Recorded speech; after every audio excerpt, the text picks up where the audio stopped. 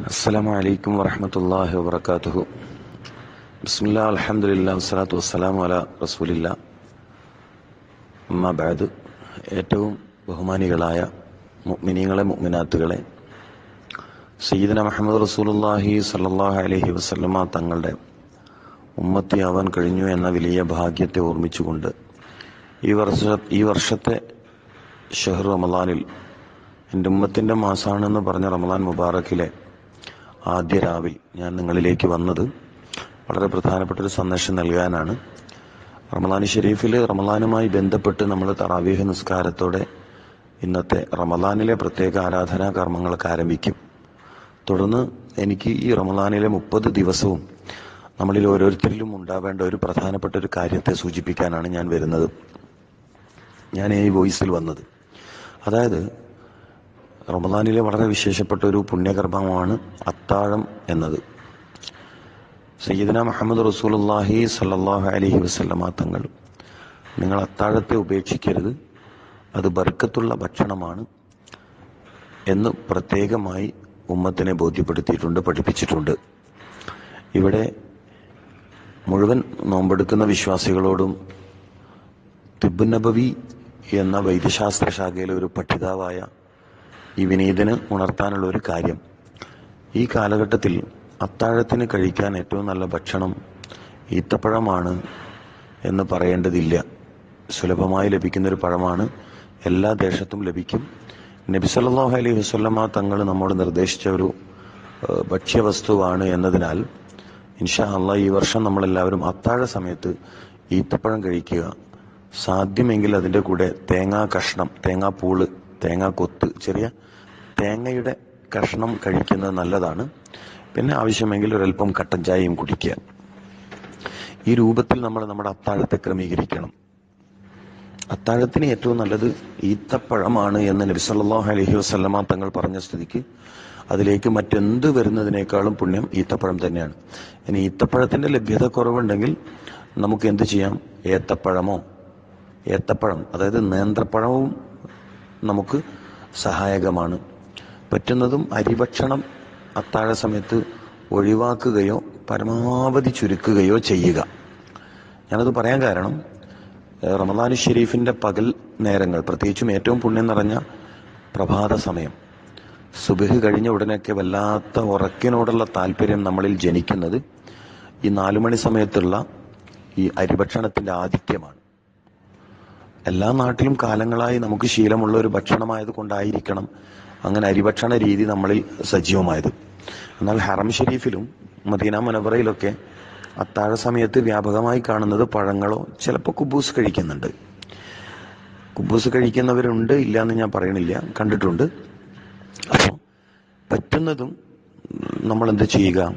ഈത്തപ്പഴം അത്താഴമായി കഴിക്കുന്ന ഒരു രീതി ആവിഷ്കരിക്കുക. പ്രയാസകരമാണെന്നുണ്ടെങ്കിൽ വല്ല രൂപത്തിലും നിങ്ങൾക്ക് അരിഭക്ഷണം കൂടിയ തീരൂ എന്നുണ്ടെങ്കിൽ നിങ്ങൾ ഒന്നോ രണ്ടോ പത്തിരിയോ അല്ലെങ്കിൽ ഒരു കുബൂസോ അല്ലെങ്കിൽ ചപ്പാത്തിയോ കഴിക്കുന്നതിനോട് വിരോധമുണ്ട് എന്നല്ല ഇതിന്റെ അർത്ഥം. ഈത്തപ്പഴം നമ്മുടെ ഒരു അത്താഴ വിഭവമാക്കി മാറ്റാം. കാരണം പ്രഭാത സമയത്ത് മനുഷ്യ ശരീരത്തിൽ ഏറ്റവും ആവശ്യമുള്ള ഭക്ഷണം പഴമാണ്. മനുഷ്യ ശരീരത്തിന് ഭക്ഷണം ഏറ്റവും ഗുണം ചെയ്യുന്ന സമയം പ്രഭാതമാണ് ഒന്ന്. മറ്റൊന്ന് മകരിബിന് കഴിഞ്ഞ ഉടനെയുള്ള സമയമാണ്. ഈ രണ്ട് സമയമാണല്ലോ നമ്മൾ നോമ്പുകാലത്തെ പ്രധാന ഭക്ഷണം. നോമ്പുകാലത്തെ നമ്മുടെ പ്രധാന ഭക്ഷണത്തിൽ ഒന്ന് നോമ്പ് തുറയാണെങ്കിൽ മറ്റൊന്ന് അത്താഴമാണ്. അപ്പം നോമ്പ് തുറ മകരിബിന്റെ ഉടനെയും അത്താഴം നാലു മണിക്ക് ശേഷം അഞ്ചു മണിക്ക് മുന്നേയോ ആണല്ലോ സുബഹിന് മുന്നേ ആണല്ലോ ഇസ്ലാമിന്റെ ഒരു വലിയ അധ്യാപനം കൂടിയാണത്. മനുഷ്യ ശരീരത്തോടും മനുഷ്യ മനസ്സിനോടും ചേരുന്ന രൂപത്തിൽ ഭക്ഷണം കഴിക്കാൻ ഏറ്റവും നല്ല രണ്ട് സമയത്തെ പരിശീലിപ്പിക്കുക കൂടിയാണ് റമദാൻ ഷെരീഫ് ചെയ്യുന്നത്. എന്റെ ഉമ്മത്തിന്റെ മാസം എന്ന് പറഞ്ഞതിന്റെ ഒരു താല്പര്യം അതുകൂടിയാണ്. എന്റെ ഉമ്മത്തിന് ജീവിത വിജയത്തിന്റെ ചിട്ടകൾ പരിശീലിപ്പിക്കുന്ന മാസമായിട്ട് സയ്യിദന മുഹമ്മദ് റസൂൽ അള്ളാഹി സല്ലാഹു അലൈഹി സ്വലം തങ്ങൾ റമദാനിനെ നമ്മളിലേക്ക് പഠിപ്പിച്ചു തരികയാണ്.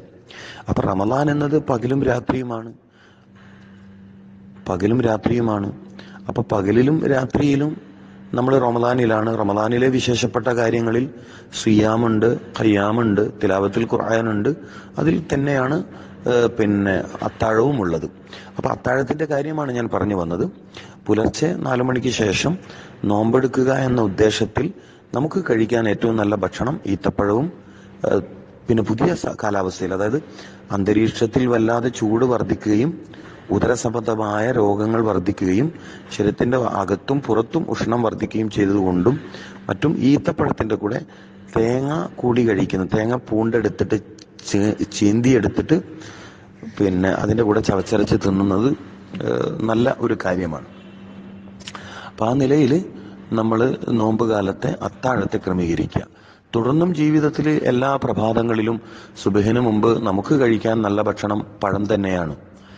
ഞാൻ കേരളത്തിലെ ലോകമറിയുന്ന സൂഫി വര്യന്മാരിൽ പ്രമുഖരും ആത്മീയ നേതാവൊക്കെ ആയ ബഹുമാന്യനായ അത്തിപ്പറ്റ ഉസ്താദിനെ ചിലപ്പോഴൊക്കെ സന്ദർശിക്കാറുണ്ടായിരുന്നു. അപ്പോഴൊക്കെയും ചിലപ്പോഴൊക്കെ അവിടെ അദ്ദേഹത്തിന്റെ ഗ്രേസ്മാലിയിലുള്ള മസ്ജിദിലോ വീട്ടിലൊക്കെ തങ്ങിയാൽ കാണാറുള്ള ഒരു കാഴ്ച. സുബഹ നിസ്കാരത്തിന് മുമ്പ് അദ്ദേഹം ഈത്തപ്പഴവും ഏത്തപ്പഴവും അതായത് നേന്ത്രപ്പഴവും കഴിക്കാറുണ്ടായിരുന്നു. പിന്നീട് തിബൻ നബവി പഠനവുമായി ബന്ധപ്പെട്ട് ഞാൻ എന്റെ ഗുരുനാഥനിൽ നിന്നും മനസ്സിലാക്കാൻ കഴിഞ്ഞൊരു കാര്യം പ്രഭാത ഭക്ഷണം പഴമാവുന്നത് തന്നെയാണ് നല്ലത്.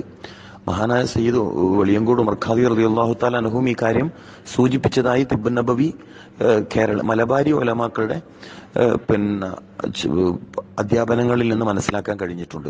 അപ്പൊ ഇൻഷാല്ല നമ്മൾ ഒരു വലിയ നല്ല ശീലം വലിയൊരു ഉപകാരപ്രദമായ ജീവിത ശൈലി പഠിക്കുക എന്നത് കൂടിയാണല്ലോ റമദാനിന്റെ വിശേഷം. ഈ റമദാനിലെ നമ്മുടെ അത്താഴം ഈത്തപ്പഴവും അതോട് ചേർത്ത് മറ്റ് ഏത്തപ്പഴമോ ഒക്കെ ആവട്ടെ അങ്ങനെ ഉണർവുള്ള പ്രഭാതവും ഉന്മേഷമുള്ള പകലും ഒക്കെ റമദാനിൽ നമുക്ക് സാധ്യമാക്കണം. ഉറക്കം തൂങ്ങാത്ത പകലുണ്ടാവണമെങ്കിലും തിലാവത്തിൽ ഖുർആൻ അതായത് ഖുർആൻ ഏറെ നേരം ഉറക്ക് തൂങ്ങാതെ പാരായണം ചെയ്യണമെങ്കിലും നമുക്ക് ഉണർവുള്ള പ്രഭാതവും ഉന്മേഷമുള്ള പകലൊക്കെ ഉണ്ടാവണം.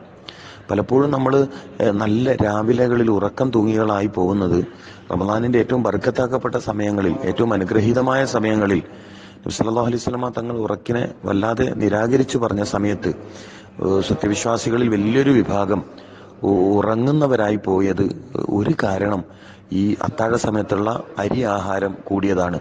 കുറഞ്ഞ അളവിലൊക്കെ അരി ആഹാരം കഴിച്ചു എന്നതുകൊണ്ട് ഉറക്കം വരില്ല.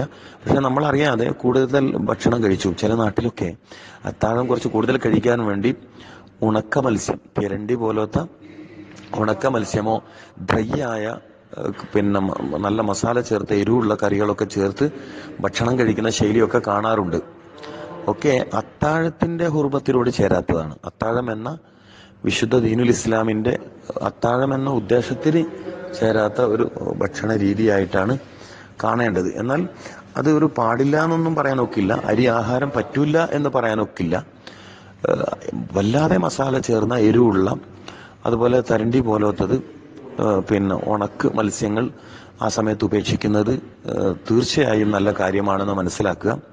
ഏതായാലും നമുക്കൊരു ശൈലിയുണ്ടല്ലോ. നമ്മുടെ ശൈലിയുടെ പേരാണ് സുന്നത്ത്. ഒരു മുസ്ലിമിന്റെ ജീവിത വിജയത്തിന്റെ ശൈലിയുടെ പേരത്താണ് സുന്നത്ത്. അള്ളാഹു നമുക്കതിന് തൗഫീക്ക് പ്രദാനം ചെയ്യുമാറാവട്ടെ. ഈ വർഷത്തെ റമദാൻ ഉണർവിന്റെയും ഉന്മേഷത്തിന്റെയും ഉജ്ജ്വലതയുടെയും ജീവിത വിജയത്തിന്റെയും റമദാൻ ഷെരീഫാക്കാൻ നമുക്ക് അള്ളാഹു ഭാഗ്യം പ്രദാനം ചെയ്യട്ടെ.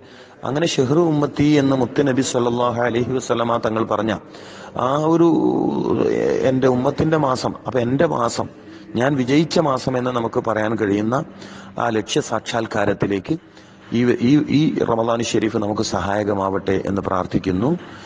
അലഹമില്ല ഈ വർഷത്തെ എന്റെ റമദാനിന്റെ ആദ്യത്തെ രാവ് സലാലയിലാണ്. ഒമാനിലെ സലാലയിലാണ് ഉള്ളത് മസ്ജിദിൽ വെച്ചാണ് ഞാൻ ഈ സത്യത്തിൽ ഈ ഒരു ദാവത്ത് ചെയ്യുന്നത്. അലഹമില്ല അള്ളാഹു ബർക്കത്തിയട്ടെ. വാഹൃദാൻ അലഹമില്ലാ റബുലാലമീൻ ആലമീൻ. അസ്സലാമു അലൈക്കും വറഹ്മത്തുള്ളാഹി വബറകാതുഹു.